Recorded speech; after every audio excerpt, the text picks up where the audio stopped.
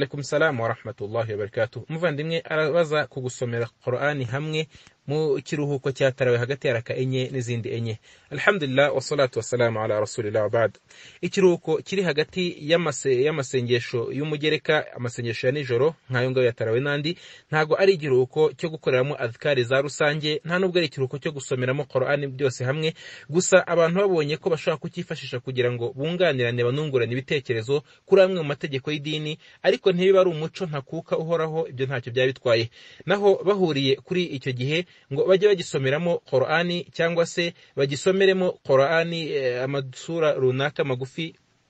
nka huwallahu kul a'udhu birabbil falaq na kul a'udhu birabbin nas n'izindi bazisubiremo bose icyarimwe ibyo ngibyo byaba ari igihimbano mu idini n'ibyo ngibyo byaba ari icyaha kuri bo ntabwo byemeye ko igikorwa nk'icyo ngicyo gikorwa kubera ko intumwa y'imana sallallahu alaihi wasallam ntiyakigishije n'abagaragu b'imana ntibigeze bakigisha no gutangiza igikorwa nk'icyo ngicyo ni igihimbano n'igihimbano mu idini ni ubuyobe n'ubuyobe bujyana nyirabwo mu wa jahannama. Bityo uwaba yabi- yabikoraga yabihagarika kandi akanabyirinda akirinda no kongera kubikora kubera ko uko ni uguca ukubiri n'intumwa y'imana sallallahu alaihi wasallama ni no guca ukubiri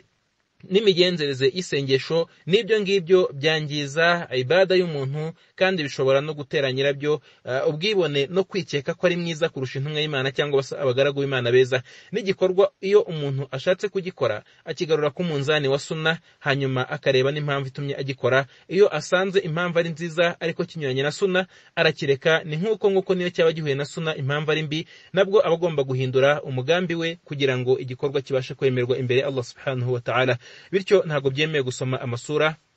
muri rusange hagati y'ibihe nk'ibyo ngibyo n'ibindi bihe nka nyuma y'isengesho ry'itegeko cyangwa se n'ibindi bihe ibyo ari byo byose ngo bibe ari umuco uhoraho abantu bahozaho. Ibyo ngibyo biba ari igihimbano wallahu a'lam.